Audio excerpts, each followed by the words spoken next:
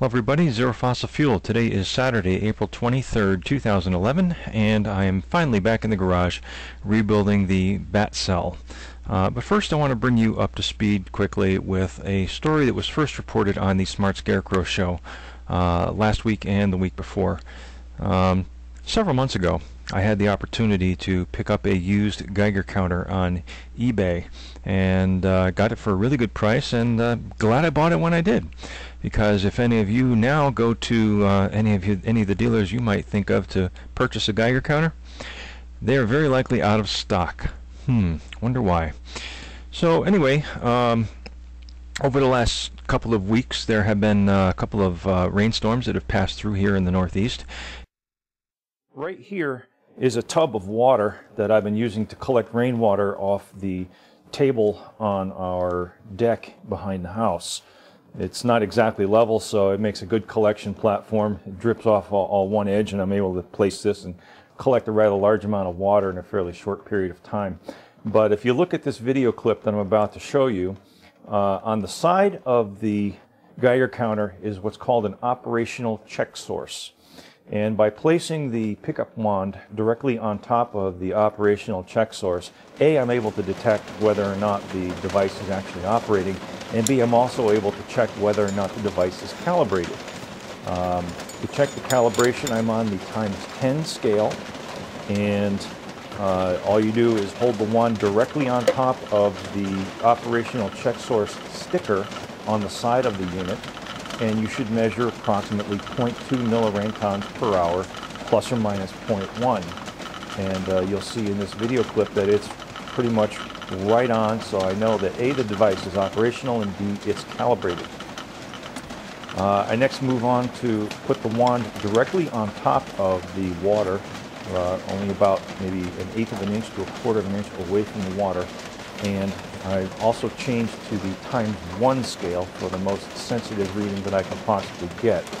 Uh, I do get a, a, a, couple of clicks every now and then, but uh, other than that, uh, there is actually no excess radiation being picked up. Now this, this particular uh, rainstorm has come straight across the United States from west to east, so if there was any probability of radiation being dropped from the, from the rainfall, it would likely come from a storm that uh, approached us in this direction. So I will continue to watch it. As we know, uh, the, uh, the fallout is very much dependent on the, the weather patterns. So with each rainfall, I will continue to, to check the, uh, the radiation levels in the water. But right now, I'm happy to report that there is no excess radiation in the water falling on the northeast anyway. I hope I'm able to put a few of your minds to rest. Uh, over here, in this box, I have all of the parts ready to go back together for the Batt Cell. And uh, right now I'm actually streaming live on Justin TV as well um, to uh, put this back together. And I'll be filming the sequence of operations that will be necessary to put it back together.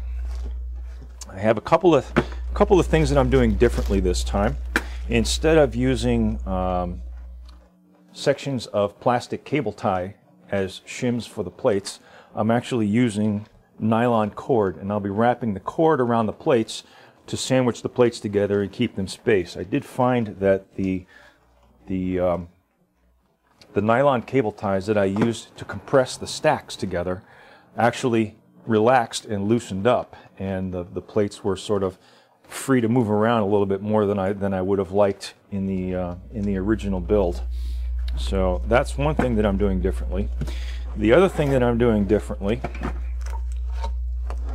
here's the original six chamber cell, six chamber uh, box, and the next box is actually going to be seven chambers.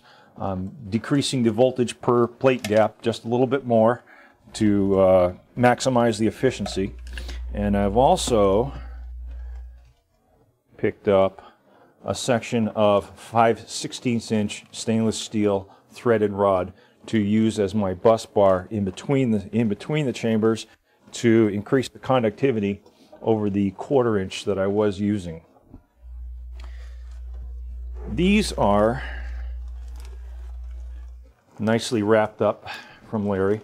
All of the uh, all of the plates that he media blasted for me. I'll be unwrapping these, and I'll be handling them only with gloves, and I'll be passivating them in a 10% solution of citric acid, uh, warmed up to about 100 110 degrees for maybe uh, 10 minutes um, prior to assembly, and then rinsing with distilled water.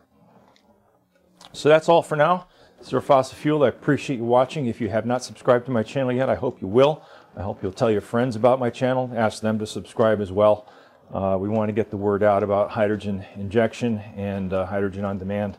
It does work. I have proved it, and uh, I am I am satisfied that I'm that I'm going in the right direction. The next uh, the next project vehicle is a 2006 Hyundai Elantra with OBD2 uh, engine diagnostics. So it is a it is a late model vehicle. It has current electronics, and uh, it is something more common that you'll find on the road. So hopefully uh, we'll be able to uh, present and document substantial mileage gains on that vehicle. Take care for now. Zero fossil fuel. Peace.